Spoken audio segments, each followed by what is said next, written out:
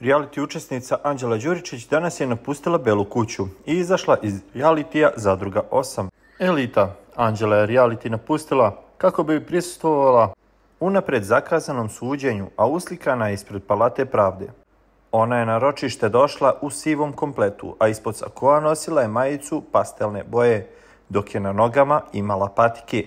Budući da je morala da napusti reality kako bi prisustvovala suđenju, ona je u Palatu pravde došla u pratnji obezbeđenja. Komentarišite šta vi mislite da li Anđela ovim prikuplja neke informacije izvana ili ne? Bacite komentar.